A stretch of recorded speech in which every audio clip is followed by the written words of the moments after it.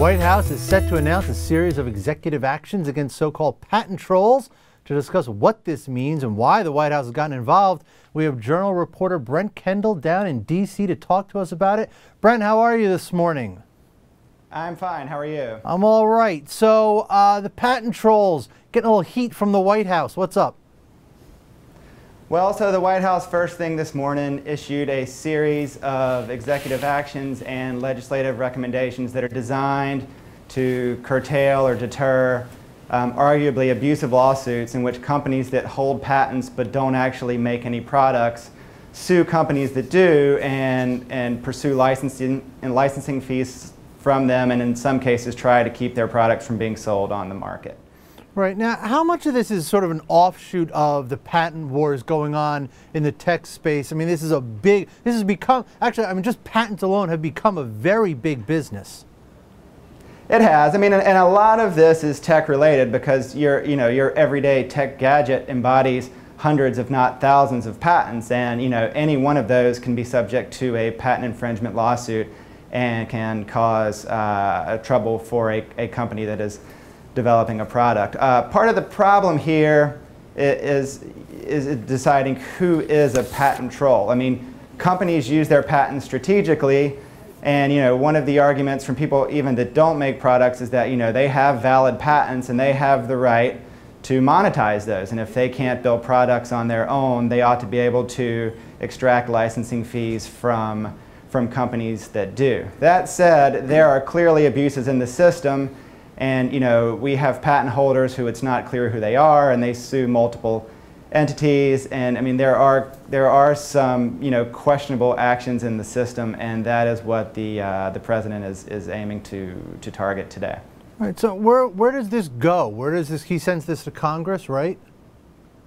Well, so there, there's two components to this. Mm -hmm. There there are some executive actions. I mean, they quite frankly nibble around the margins some. I mean, one of the things that the president is going to do on his own is have the patent office initiate a rulemaking that's going to make it easier for people when they when they become a defendant in a, in a patent action to know the real owner of the patent who they're facing, which is not always clear. Sometimes they're sued by shell companies, and when you're deciding whether you want to fight somebody or settle with them, it helps to know who you're facing and what patents they have. So the bigger, pro, the bigger uh, proposals that the White House recommended today are all things that Congress would have to jump in on, and, and any real changes in the system uh, would have to come from there. One of the big proposals the White House is recommending today is, is what would be called sort of a fee shifting proposal. So if you are a so-called patent troll and you file a lawsuit and then lose in court and a judge finds that your lawsuit was abusive or frivolous, that it would be sort of a loser pay system and that you know